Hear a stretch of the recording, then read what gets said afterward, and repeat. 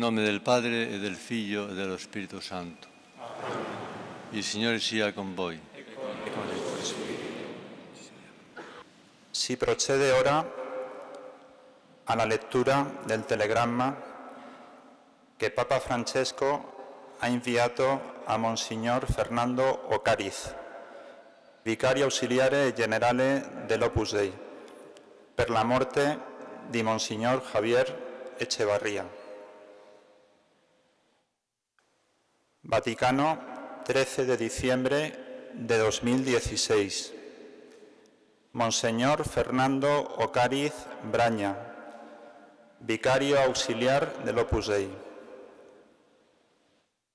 Apenas recibida la triste noticia del inesperado fallecimiento de Monseñor Javier Echevarría Rodríguez, obispo prelado del Opus deseo hacerle llegar a usted y a todos los miembros de esa prelatura mi más sentido pésame, al mismo tiempo que me uno a vuestra acción de gracias a Dios por su paternal y generoso testimonio de vida sacerdotal y episcopal.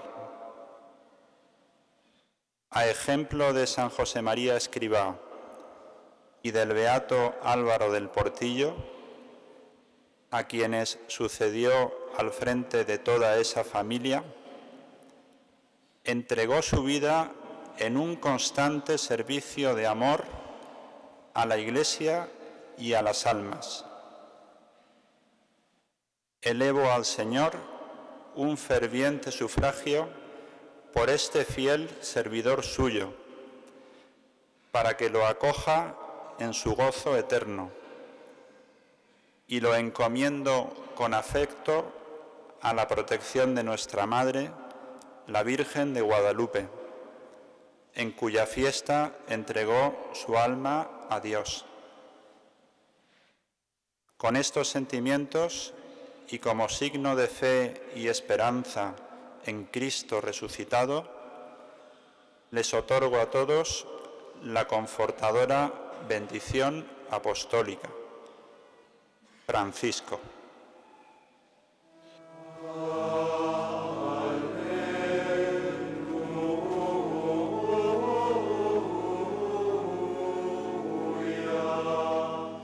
Dal Vangelo secondo Matteo. Le parole di Gesù che abbiamo appena ascoltato sono una meravigliosa apertura del suo cuore, nella quale egli parla al Padre e ai suoi discepoli. Così anche noi cristiani siamo chiamati a parlare con Dio e con i nostri fratelli. L'evangelizzazione, l'apostolato, è proprio il frutto del rapporto di intimità con Dio. Come scrisse San José Maria, il tuo apostolato deve essere un traboccare della tua vita al di dentro, in questa celebrazione eucaristica, in suffragio del Vescovo e Prelato dell'Opus Dei, Monsignor Javier Echevarria, il Vangelo porta alla mia memoria come egli cercava spontaneamente, con naturalezza, di insegnarci ad amare Cristo e gli altri.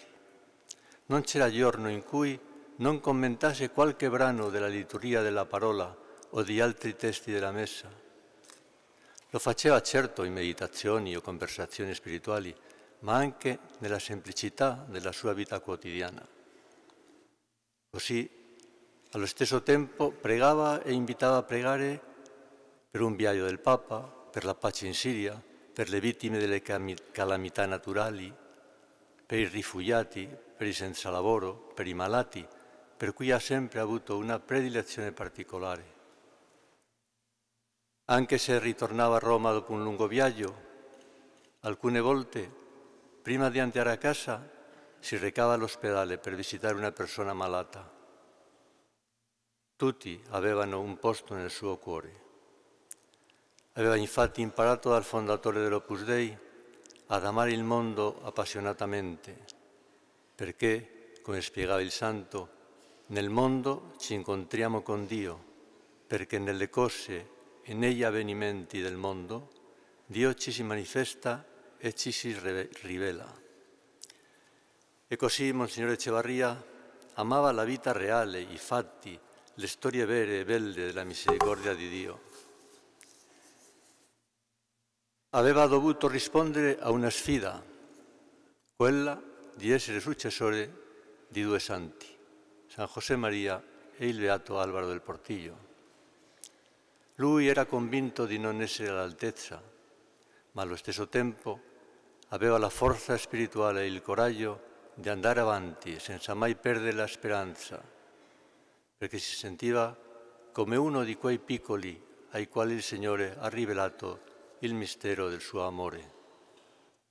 Aveva conosciuto nella gioventù l'amore di Cristo innanzitutto dentro il focolare domestico, poi c'è stata per lui la grande luce dell'incontro con San José Maria, che gli fece scoprire ancora più profondamente la bellezza dell'amore di Cristo. Ricordava come a quel tempo, pochi giorni dopo aver incontrato per la prima volta San José Maria, andando in macchina con lui ed alcuni altri, lo ascoltò cantare una canzone popolare di amore umano che sapeva trasportare ad un ambito divino. Diceva così, ho un amore che mi riempie di gioia, è questo amore la meraviglia di ogni giorno. Capì che quell'amore era l'amore di Dio per noi e che lo Spirito Santo infondeva nel nostro cuore l'amore per Dio e per gli altri. Il mio gioco è dolce e il mio carico leggero, dice Gesù, perché il gioco è l'amore. Questo è il mio comandamento, che vi amiate gli uni gli altri, come io amato voi. Quando Javier Echevarria fu ordinato sacerdote, anche se era molto giovane, la sua messa era già diventata il centro e radice della sua vita fonte e culmine di tutta l'evangelizzazione, secondo l'insegnamento del Concilio Vaticano II. Durante più di 60 anni, mentre si rivestiva con la casula per celebrare i santi misteri, amava pregare con il cuore quell'orazione della Chiesa che ricorda la dolcezza del gioco del Signore, l'immensità della carità e della sua misericordia, rivelata in modo eccelso in Gesù morto sulla croce e risorto per noi. Così, seguendo l'esempio e gli insegnamenti di San José Maria, Javier Echevarria è stato un uomo dal cuore grande, capace di perdonare e di chiedere perdono grande amante del sacramento della riconciliazione e della penitenza, in cui lasciamo entrare Gesù nell'anima e sperimentiamo la piena libertà dell'amore con cui Dio entra nella vita di ogni persona, come scrive il Santo Padre Francesco. Monsignore Echevarria, come vicario generale della prelatura, non ha avuto altro scopo che aiutare il Beato Alvaro del Portillo nella sua missione di guidare questa piccola parte del popolo di Dio. Poi, dopo la sua nomina come prelato da parte di San Giovanni Paolo II, non ebbe altro pensiero né ardente desiderio che quello di aiutare coloro che erano diventati suoi figli e figlie spirituali nel cercare veramente la santità che Dio ci vuole donare irradiando l'amore di Dio intorno a noi, specialmente nella ricerca della santificazione del lavoro ordinario e nell'attività della vita quotidiana, nella famiglia, con gli amici, in società. Infatti se n'è andato in cielo pregando per la fedeltà di tutti. Il segreto di tutto ciò penso che lo possiamo scoprire nel Vangelo che abbiamo letto oggi questo è l'orazione, la fede nella presenza amorosa di Dio, che ci fa figli del Padre in Cristo per lo Spirito Santo. Ti benedico, o oh Padre, Signore del cielo e della terra, perché hai ottenuto queste cose nascoste ai sapienti e agli intelligenti e le hai rivelato ai piccoli. Sì, la santità non è altro che la pienezza della carità in noi, il far fruttificare i talenti che Dio ci dà, uscire da noi stessi verso gli altri. La partecipazione alla vita di Cristo, cioè la crescita della filiazione adottiva nell'unico ed eterno Figlio del Padre. Si potrebbe dire che dentro del cuore di Monsignore Cevarria alleggiava l'attesa impaziente della rivelazione dei figli di Dio, alla quale si riferisce San Paolo nella lettera ai Romani. Vorrei ringraziare i cardinali, arcivescovi e vescovi, i fratelli nel sacerdozio, le religiose e religiosi, le autorità civili e tanti altri fedeli che hanno voluto unirsi alla nostra preghiera per Monsignore Cevarria e rendere grazie con noi per questa vita tutta dedicata agli altri. Adesso vorrei aggiungere alcune parole, pensando specialmente ai fedeli della prelatura. Se fosse qui tra noi colui che abbiamo chiamato padre per ben 22 anni, sicuramente ci chiederebbe di approfittare di questi giorni per intensificare il nostro amore per la Chiesa e il Papa, di essere molto, molto uniti fra di noi e con tutti i nostri fratelli in Cristo ripeterebbe anche ciò che era divenuto nelle sue labbra, specie negli ultimi anni sulla terra, un ritornello. Voletevi bene, amatevi sempre di più. E non solo nelle sue labbra, faceva impressione vedere come voleva bene agli altri.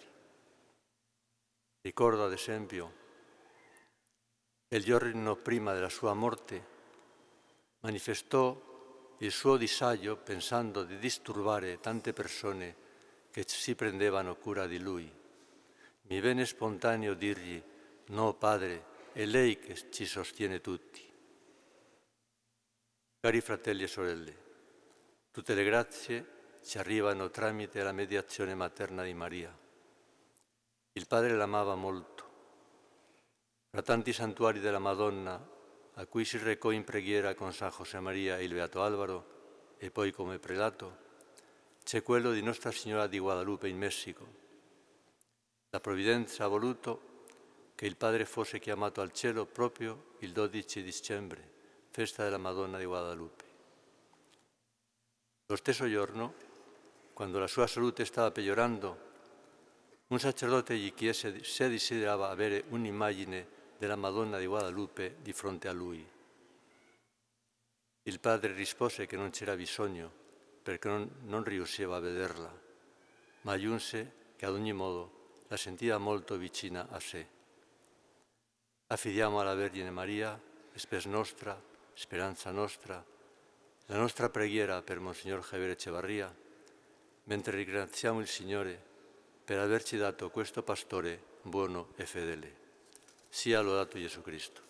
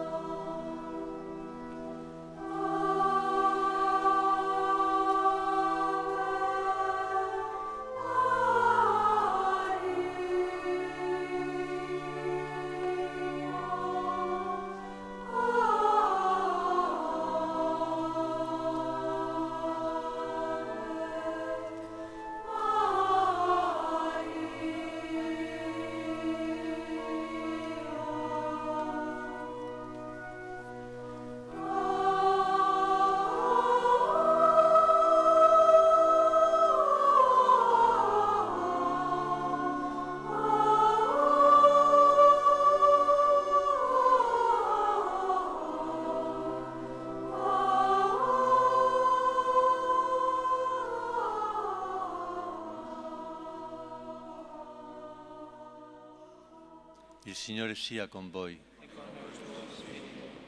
Vi benedica Dio Onnipotente, Padre e Figlio e Spirito Santo.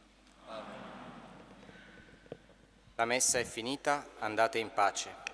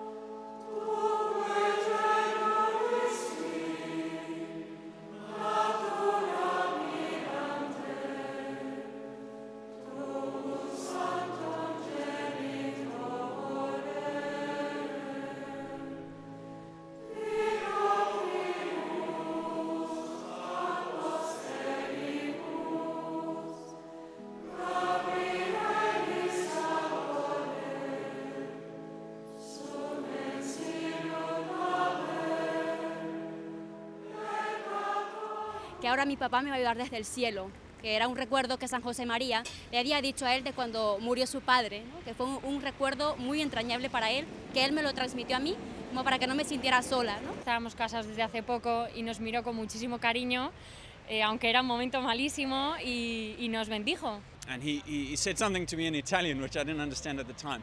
But then he finished and he just looked at me and he said, Pray for me, pray for me. And that really struck me that he would ask me to pray for him. That was beautiful.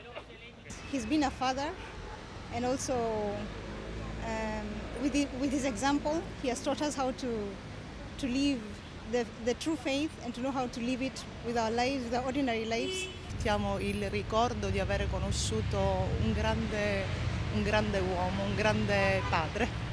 Recordamos mucho su, su paternidad, se sentía el afecto paterno che tenia. Mi ricordo di una persona santa, di una persona che ci ha trasmesso dei valori importanti per la mia famiglia, per i miei figli, per mio marito, una persona che resterà sempre nel nostro cuore.